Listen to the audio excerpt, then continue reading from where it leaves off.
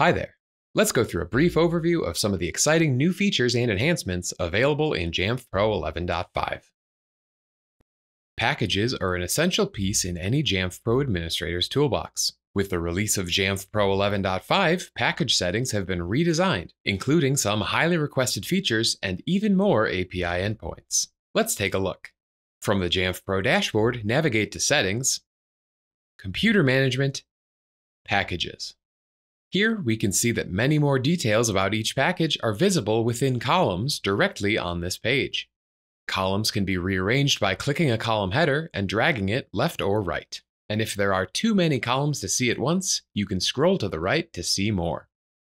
Click the settings icon in the upper right corner to customize which columns are displayed and to pin columns to the left or right so they're always visible while scrolling.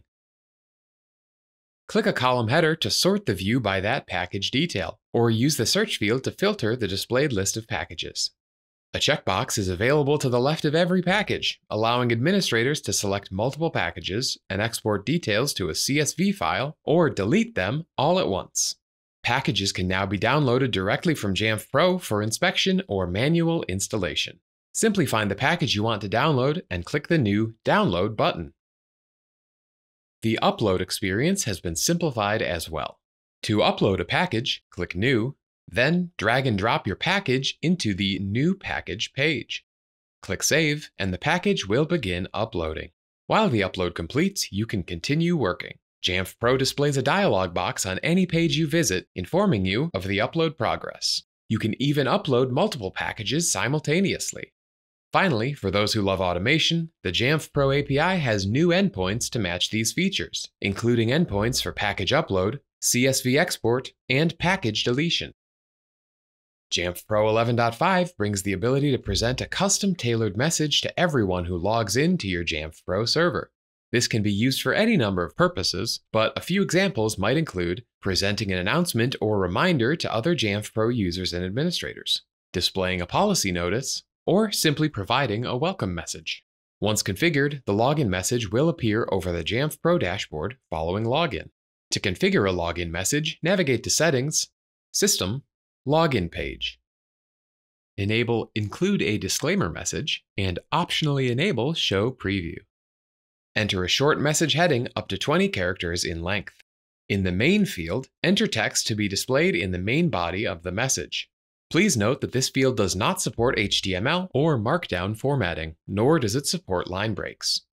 In the Action field, enter your preferred text for the button that'll be clicked to acknowledge the message and proceed to the Jamf Pro dashboard. Finally, click Save to complete the login message configuration. When any user next logs in to this Jamf Pro server, they'll see the message we created. When creating custom, script-based extension attributes, it's common for data to not be available until each computer completes an inventory update. This can cause issues with reporting as it's difficult to know whether there's a problem or whether the computer just needs more time to process. In Jamf Pro 11.5, you can now search for and create groups of computers with an empty extension attribute field, allowing further insight into the status of your organization. To see it in action, we need an extension attribute that uses a script to return integer type data, such as battery cycle count, which is available as a template. This extension attribute will query each computer for the number of times the battery has been fully charged and discharged, and return the number of cycles to Jamf Pro.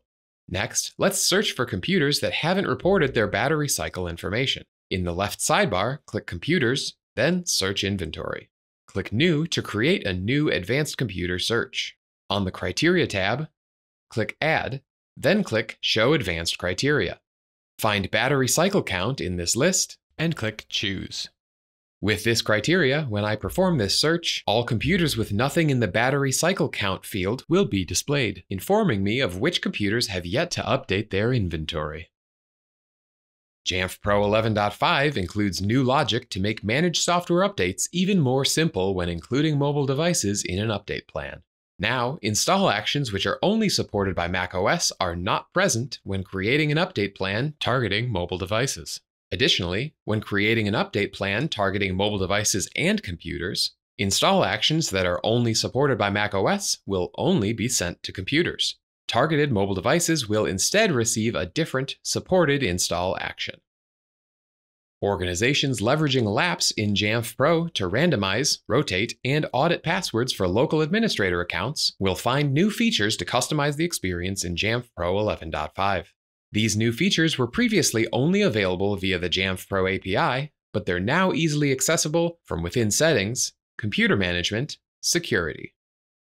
The Password Settings for Managed Local Administrator Accounts section is where these new controls can be viewed and adjusted. Enable LAPS for pre-stage accounts will randomize and rotate the password for all managed local administrator accounts created via MDM, whether during a pre-stage enrollment or afterward. This setting has complex interactions and potential to interrupt previously established workflows, so we recommend checking out the full release notes and documentation before making any changes to this setting. Rotation interval determines how often Jamf Pro will automatically rotate passwords for managed local administrator accounts. Rotation after viewing interval determines how soon Jamf Pro should rotate a managed local administrator account password after the password is viewed from a computer's inventory record.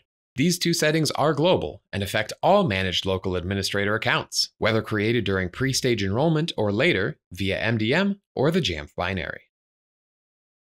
That's it for our quick overview of some of the new features introduced in Jamf Pro 11.5. Be sure to check out the Jamf Pro release notes in the Jamf Learning Hub at learn.jamf.com to review all of the exciting updates.